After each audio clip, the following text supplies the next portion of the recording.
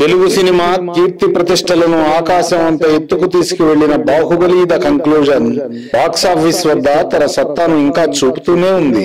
మొదట వెయ్యి కోట్ల టార్గెట్ అంటూ అంచనాను ఫిక్స్ చేసిన ఈ చిత్రం తర్వాతి రోజుల్లో పన్నెండు వందల కోట్లయింది. ఆ తర్వాత పదమూడు వందల కోట్లు అన్నారు. కాదు పదిహేను వందల కోట్లని తేల్చారు.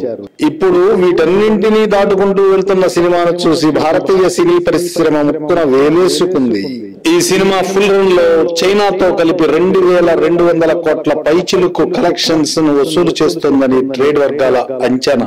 నిజానికి ఈ అద్భుతమైన సినిమాకు ఐదు స్తంభాలున్నారు.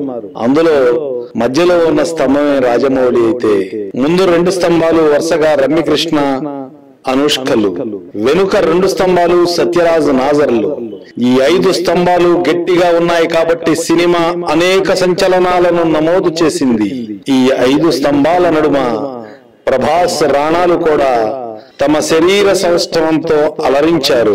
ఇంతలా అన్ని అవకాశాలను వాడుకొని మన జక్కన్న తెలుగు సినిమా కీర్తిని ఆకాశమే హద్దుగా పెంచేశాడు.